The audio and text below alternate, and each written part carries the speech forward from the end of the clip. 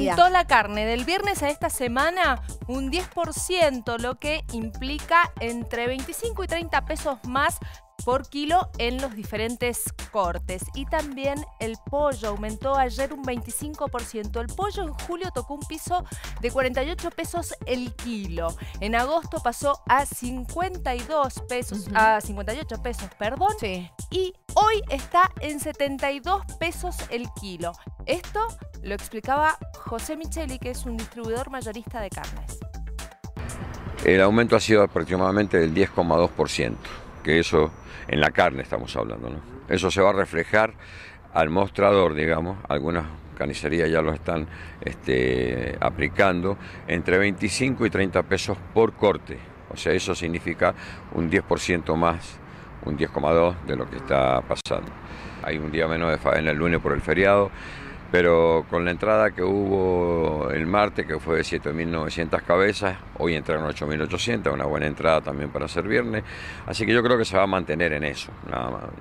Por hoy, tenemos esa cifra, eso en un 10% aproximadamente. Lo que pasa es que el novillo se está manejando a precio dólar, o sea, más o menos está estaba con un dólar de 45 pesos en un peso 50 de dólares.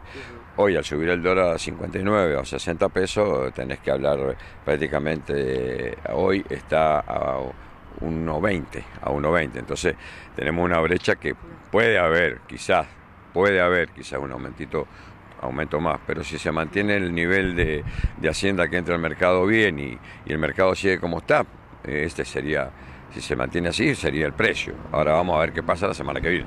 Sí, ha bajado el consumo, sí, sí, se ha notado una, baja en estos últimos meses del consumo. Pero muchas veces, ¿sabes qué pasó? ¿Sabes qué pasó? Que el pollo estuvo muy barato hasta julio. Hasta julio, el mes pasado, el pollo tocó un piso que valía 48 pesos el kilo. Entonces mucha gente se volcó también al pollo, por eso también un poco hubo una disminución de carne. Hoy el pollo subió, por ejemplo, el pollo hacía mucho que no subía y ayer tuvo una suba, una suba del 25%.